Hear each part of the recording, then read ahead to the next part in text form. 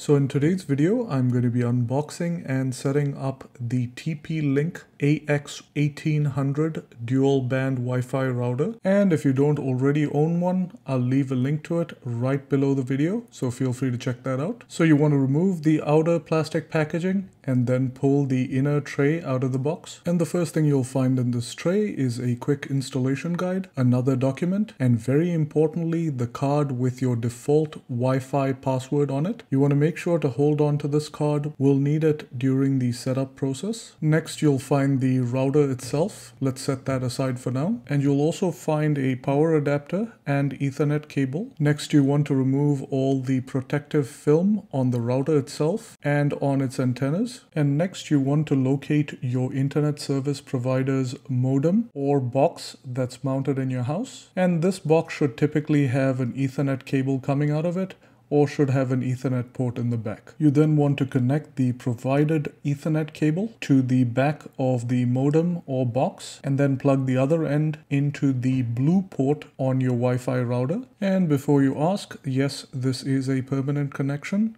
The modem will remain connected to the router even after the setup process. Next, we'll plug the power adapter into the back of the Wi-Fi router and then make sure the power button on the back is pressed in. You then want to make sure your modem or box is powered on and connected to the internet. Then plug the router's power adapter into a wall outlet. The Wi-Fi router then boots up and the lights in the front begin to blink and eventually turn solid. Once the process is complete, all four LEDs on the left will turn solid green and this is all the setup that you need to do on the router itself. The rest of the setup has to be done on a computer or mobile device. In this video, I'm going to be setting it up using a Windows computer and a web browser, but you can use a web browser from almost any device, including a Mac or a mobile device, and the procedure is pretty much identical. The first step in the process is to connect this device to the new Wi-Fi router's Wi-Fi network. Now the names of the networks and the password to be used are what you would find on that card that I had shown you earlier. And in my case, that is TP-Link 1314. And I'm going to connect to the 5 gigahertz version of that network. You can connect to either one of those networks. It'll work just fine. Click connect and enter the password that was on that card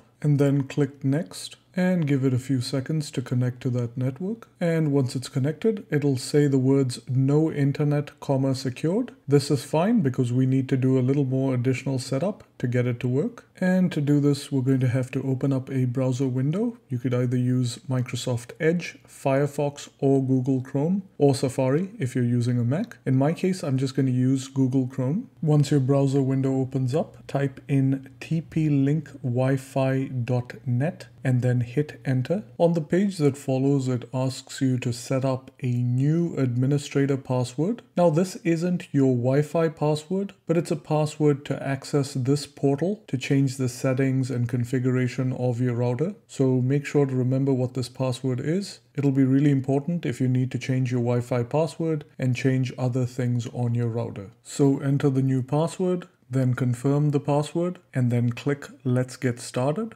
On the next page, it asks you to select your time zone. So select your time zone and then click next. On the screen that follows, it asks you to select your connection type. I recommend leaving it as the default dynamic IP and then click next. And the next screen asks whether you'd like to set your router MAC address. I recommend just leaving it as the default. So select the use default MAC address option and click next. On the screen that follows, it asks you if you'd like to change your Wi-Fi password. I highly recommend doing this. This will actually change the network name and password on both the 2.4 gigahertz network and the 5 gigahertz network. So go ahead and do that and click next. And then it asks you whether you'd like to turn on auto updates for the firmware on the router. Now this choice is entirely up to you, but I'm not going to do that. I'm going to click not now and then click next. And on the screen that follows, it lets you know that you've successfully completed the setup of your router. However, there's one more critical step to complete. You want to jump back into your device's Wi-Fi settings and connect to the new network that we just created. In my case, that is Vortex. Now, the unusual thing that you'll notice is that the two separate networks, that is the 2.4 gigahertz network and the 5 gigahertz network, are no longer visible. There's just one network, and that's because this router has something called Smart Connect, and this combines both those networks and makes them visible as one network. And so you don't really need to choose which network you want. The router kind of chooses for you, which is kind of a cool feature. So enter your new password and hit connect. And once your device connects to the network, you should now be able to use the internet. And this is pretty much all the setup you need to do to get your TP-Link AX1800 Wi-Fi router up and running. Now, if you haven't already purchased this router, I'll leave a link right below the video, so feel free to check that out. And if you have any other questions or comments, please leave them in the comment section below. I'd love to hear your thoughts.